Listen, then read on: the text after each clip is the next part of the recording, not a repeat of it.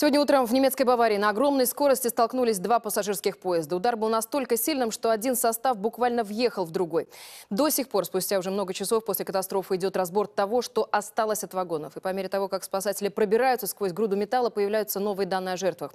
Вот информация на эту минуту. Десять человек погибли, пострадавших очень много, около 80.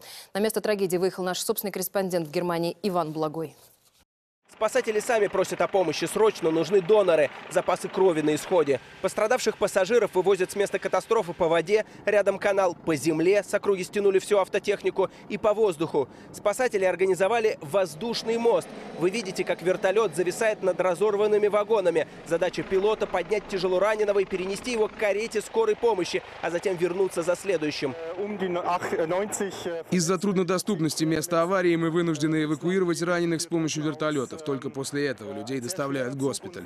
Это было столкновение лоб в лоб. Две электрички локомотивы превратились в груду металла. Несколько вагонов сошли с рельсов. Как рассказывает один из пассажиров, все, что помнит, удары крики, потом потерял сознание. Скорее всего, машинисты, а по нашим данным, они оба погибли, даже не успели начать торможение перед ударом.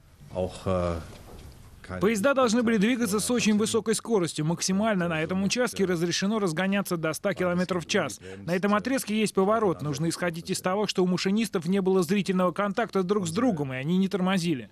Но как вообще такое могло произойти? Обе электрички, а также железнодорожные пути были оборудованы специальной электронной системой экстренного торможения. Ее как раз и создали для предотвращения таких столкновений. Работоспособность системы проверяли неделю назад, но в час X она дала сбой. Почему? Главная надежда следствия – бортовые самописцы электричек.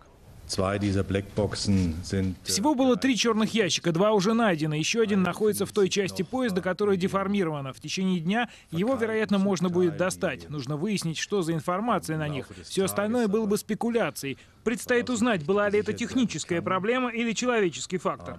Пока единственное, в чем уверены власти, это не теракт. Авария произошла ранним утром в 6 часов 48 минут.